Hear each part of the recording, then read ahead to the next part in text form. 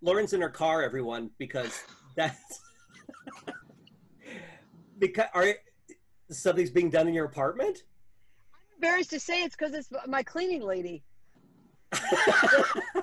that just sounds so bougie and dumb, but it's like it's like my, my friend who cleans my apartment for me once in a while. She's in there. She's supposed to be done by now. Well, I think that it's. I mean, you you referred to her as a friend, so I think that that's okay. It's nice that I mean you're friends. I, I said friend because I don't remember her name.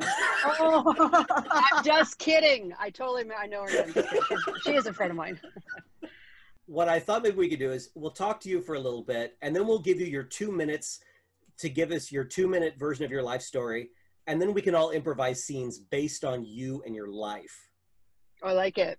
I Okay. like it. This is like a this is a, a secret fantasy I've had for a long time. In 1969, in an unwed mother's home in Terre Haute, Indiana, Terre Haute, Indiana, which is like voted like one of the most disgusting cities in America, a 15-year-old girl had a baby, and so um, and then she gave the baby away, and then uh, that baby was me. I mean, she named me um, Tammy Lisa, and then that was the my birth mother's name for me. But then when I got adopted, I, Tammy Lisa was turned into Lauren Huntington Weedman, and I was adopted by this um, sort of upper middle class family in Indianapolis. And I, I basically grew up in Indianapolis in the suburbs, and I always had a, uh one foot out the door with the family I was adopted by. I just I never felt a part of that family, which was an ongoing issue for me. And I was upset. And then about and, and then I remember around fourth or fifth grade when I started doing theater, and that's the first time that I felt sort of a part of any. I want to say first time I was happy. Started gaining weight when I was about seventh grade, and my my adopted mother was the ballet. The fact that she'd adopted this this girl that ended up being um, a, a larger girl, I was a more voluptuous girl. That made my mother insane. She sent me to so many different like Weight Watchers, hypnotists to try to get me to lose weight, and she was so embarrassed by my my weight gain and constant like I was always sneaking pop tarts. I was obsessed with David Bowie. I was obsessed with feeling like I was an outsider that nobody understood, and that at some point I would, you know, end up in New York City in Andy Warhol's factory, which was like this this idea that I'd be with all these artists um, making weird, uh, bad movies on in, in black and white. Uh, so, and which also drew me to anytime there was a foreign exchange student around in my school, I was always like, oh my gosh, what is Sweden like? You must have the most amazing electronic music. Take me with you. So I um, went to theater school when I was 18, and I was there for a year. Kind of a rough year. Um, I had a hard time with all the. I'll skip that. Uh, that, that. that year is just like a. Let's say it's a blur. I ended up going to uh, IU, and then I met Franz, and I went to Amsterdam, did experimental theater, learned Dutch, um, uh, uh, smoked a lot of pot.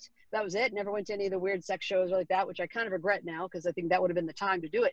Went back to Seattle there, then started doing solo theater, but changed my life, and suddenly I became kind of famous in Seattle, um, and was known for being a solo artist. I did a show about being adopted, and then I ended up going to New York City and being um, on uh, the Daily Show and off Broadway. And then after that, I would I got married um, to a guy in Seattle. He was a bartender. It turns out a big cheater.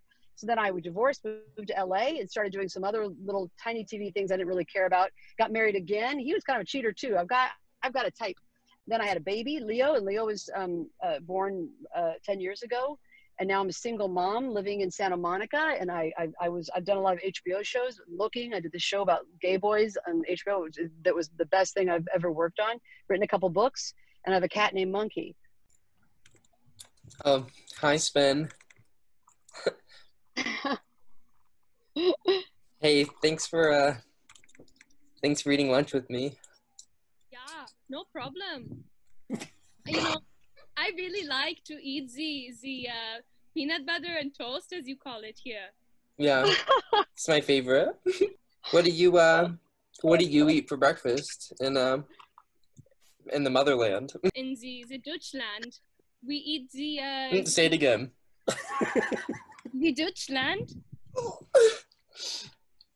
We eat the the roasted uh, deer, Oh, that's so. but we do put peanut butter on it. You know. we just slather it, slather it on, just like the just like the bread, as you say here. Just like a whole deer, like the whole thing. Yeah, it's a little bit difficult to fit in the oven, but we have larger ovens in in the Deutschland. I bet you have big tables too. Yeah, we have the big tables and the big chairs.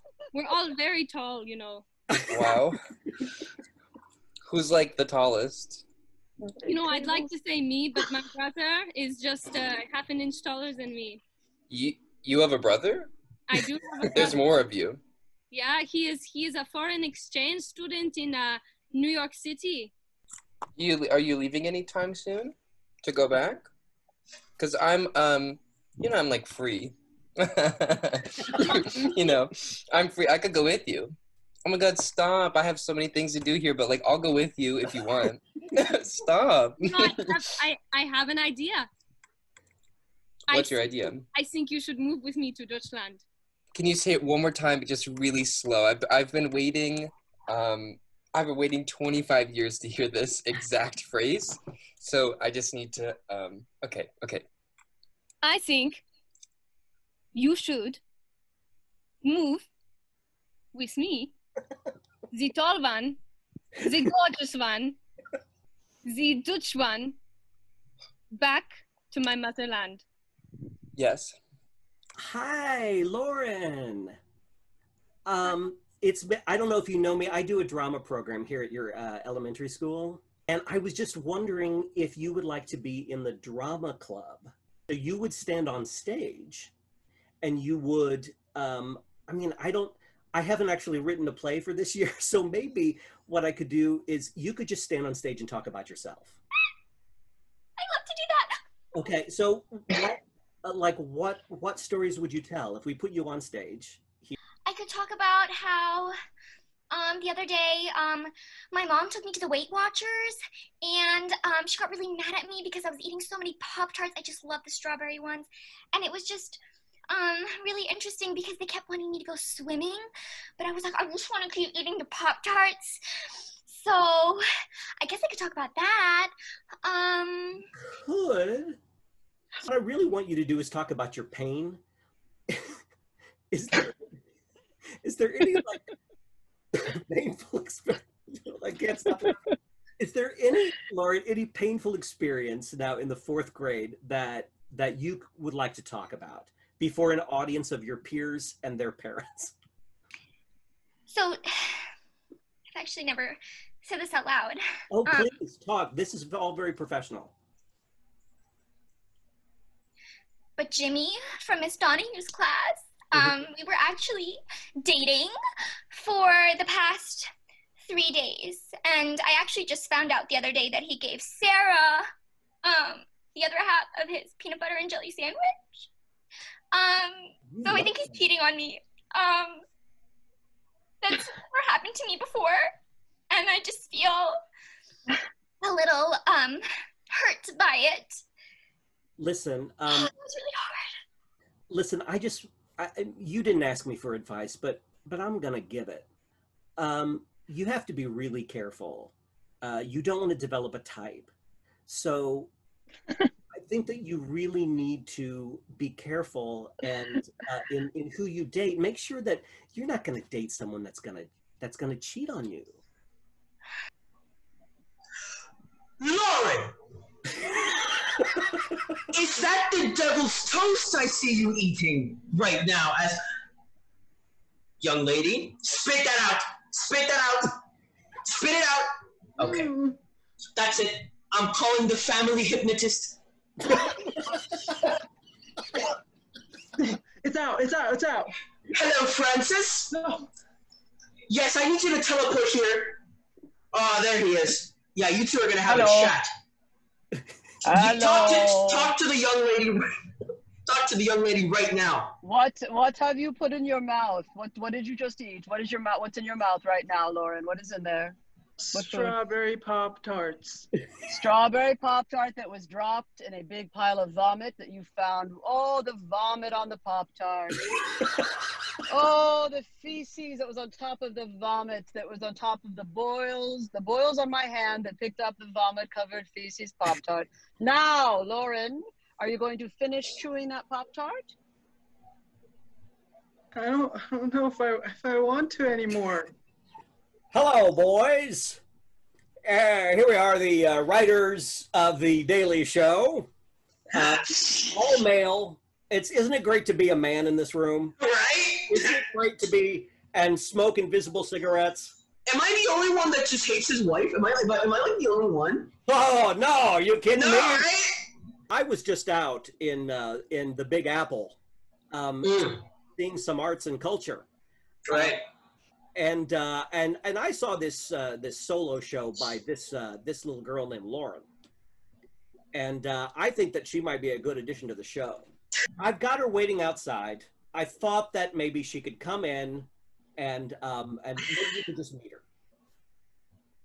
Okay. Sorry. You know what? All right, wait, we'll take it. We'll take it. Sure. Okay, here she and here she is. Here- Ah, there she is. There she is. Lauren Okay. Friedman.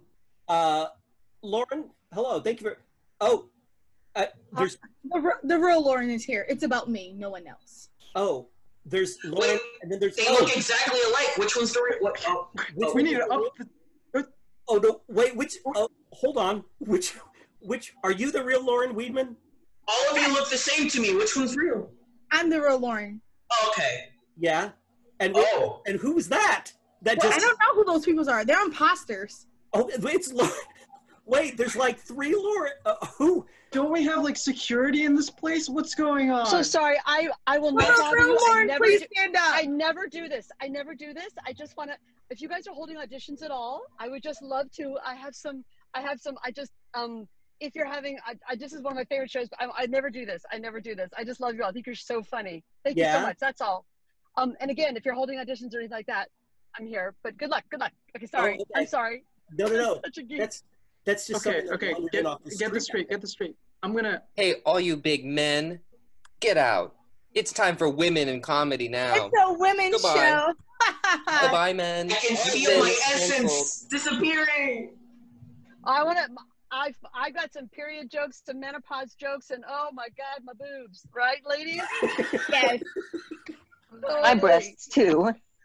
Perfect. You can tell the one about the diarrhea you get when you're in your period. Oh my gosh. Oh wow. That's not all women. Oh, sorry.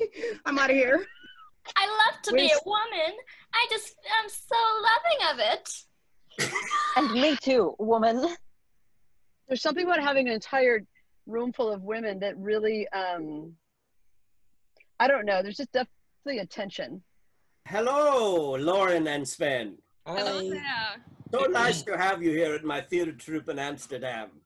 Here I have the script for the next show. It is very weird and avant-garde. Thank you.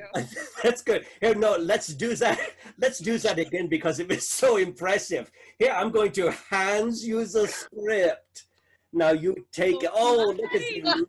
Oh my. Wow. High art. That was amazing. So um, I'm going to go now, and I'm going to leave the two of you alone to rehearse. You know, I think we should just start reading. Yeah, okay. So this Oh. Oh, sorry. I thought you were ready. I'm sorry. On, it's actually your first line. I, I didn't mean to cut you off. Mm. You know, I think I actually read it wrong. Um, the person that killed you was my father.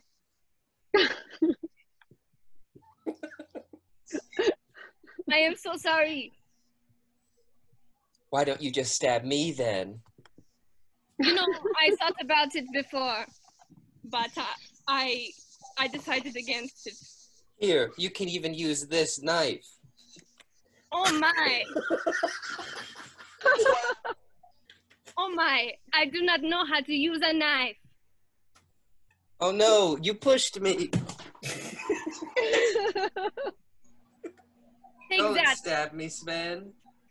Oh, I'm sorry. Oh, um, we never talked about names in this scene. What's your I, I think it says Lola. I think I'm playing Lola. Lola? Okay, I'm so sorry. Okay, we'll we'll we'll get back into it. Okay. Lola, don't stab me. Don't But do it. Don't stab me with the knife that I gave you. But you cheated on my cat with with my dog. I don't even know what that means, but I'm a woman, so you must be right. Well, then I guess I have no choice. Then to, but to stab you. If you must. Ow. I'm bleeding. I don't know. I don't. Will they believe it? I think we Since need we're not going to use blood? No. I Very think abstract. yes. uh, I don't know. Maybe it's it's it's poetic if we don't use blood. Welcome to the uh, Amsterdam audition for comedians.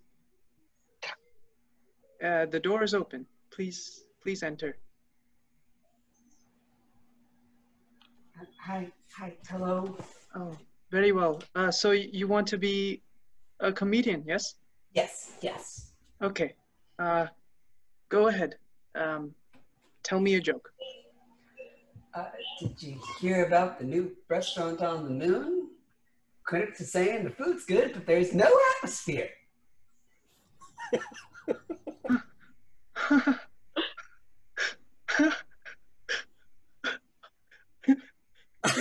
You made me laugh.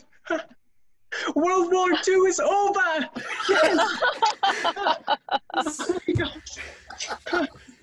So uh, that was an interesting talent show. Um, you know, uh, Lauren, some of your friends came in for the talent show, and you know, Susie, uh, she twirled the baton, and then she, you know, was on fire for a second there, and uh, and she's gonna be fine, by the way. Um, and then uh, and then the, Tammy did the magic act, and and that was that was very nice. Um, you stood up and talked about the trauma of being adopted. It was, uh, I- I- and that's okay. We don't want to censor you. We don't want to stop you from uh, uh, telling your story. But why did you do that, Lauren? Um, well, earlier I talked with the drama club instructor, and they were like, I should just go up and talk about my life. And I realized I spent a lot of my time talking to myself in the mirror, and oftentimes it's me talking about that. So I figured um, I could make myself giggle because when I look in the reflection, she's like, so like, maybe I can make other people um, do that too. Oh, Right, right. And there were there were some people laughing. Um, uh, there there were other people deeply uncomfortable. Um, I think probably it's it's not comfortable to become face to face with uh, an example of humanity uh, like that. Um, uh, so I'm just gonna say that maybe wait until you're an adult before you talk about the trauma of adoption. Maybe while you're a young person, um, you should just uh, kind of keep it zipped, kind of keep it zipped a little bit. Mm, Does that make I don't want to do that. Oh, I understand. I'm opening it. Oh, no, don't open it. Oh, hi, Lauren. I'm the embodiment of New York, and I think you should come visit me. Sorry. I, I can make you famous, kid.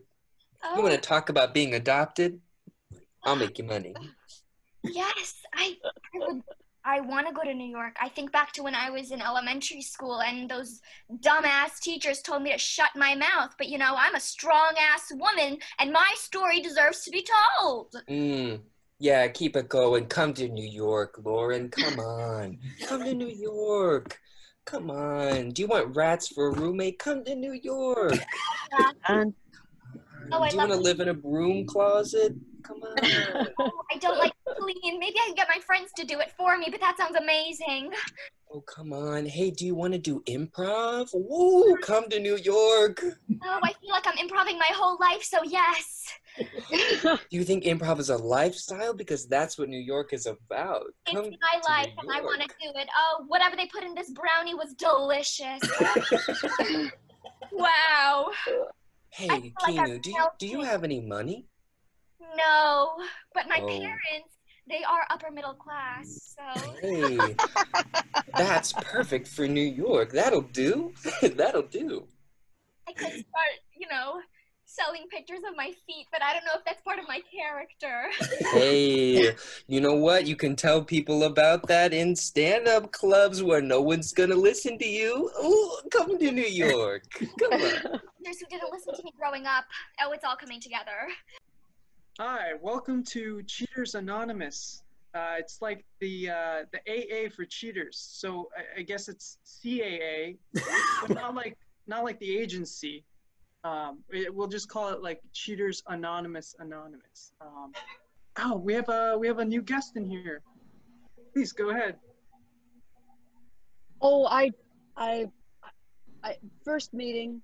Don't pay attention. I just, I'm here to learn. Thank you so much for everybody's vulnerability. I'd love to hear more details about maybe how people found themselves. Like, what was the first kiss?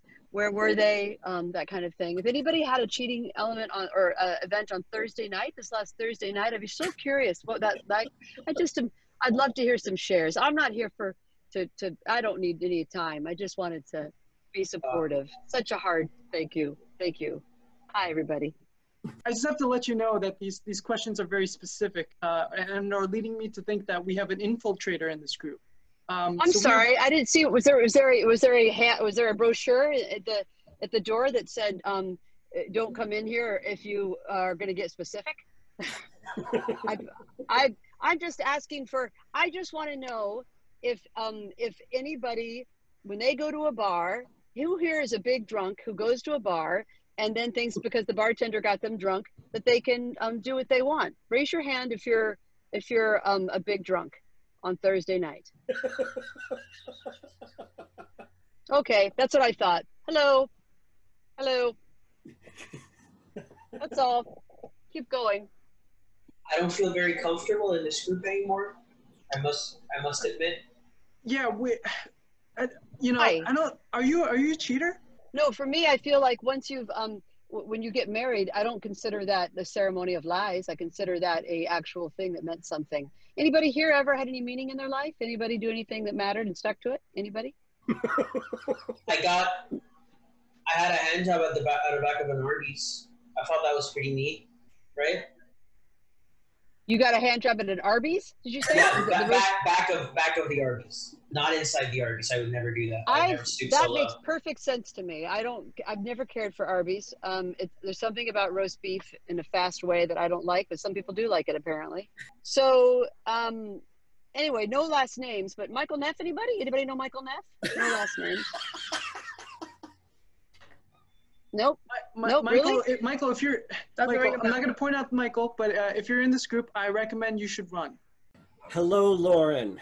Well, I have news for you. It's um, you lived a long, full life, but uh, but now you are dead. Um, it's okay. You know what? It's okay. You were 109. Oh my God.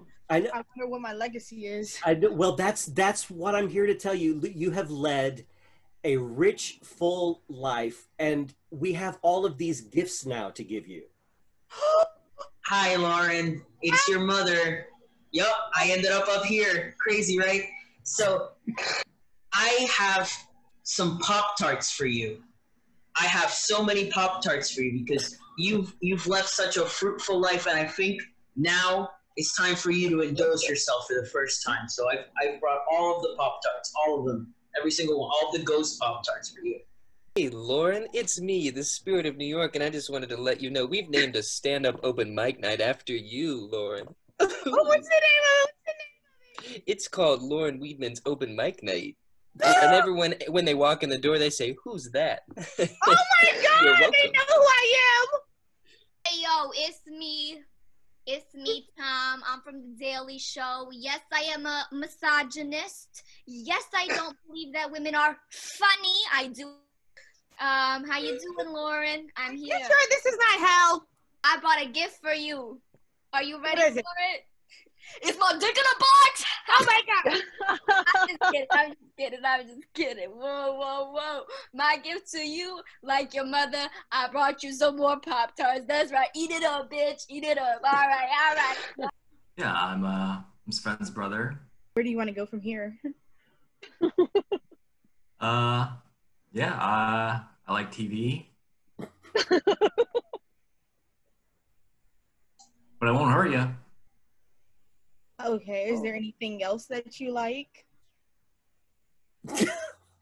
Oh my god, you can't make that gesture up here. Hey Lauren, it's me again, the spirit of New York. It seems Oh like you've broken the number one rule Ben, of heaven, let's and you're gonna Ben, have to come go. back to New New York York. is New York is like, come let's on, go. baby. Come on, let's go. Sorry. I'm sorry. Nice you meeting gotta, you. you gotta Let's go go. back New to York New is York. coming. It's, It's too alright. late. Come with me, boo. Let me. s- Oh yeah. Okay. Look at me. I'm. I'm going wow. to hell. All right, It's Lauren, I'm called calling New Francis. York. I'm calling Francis. I didn't mean to cheat on you. Okay. Now that everyone's gone, it's just me and you. So And scene. Good.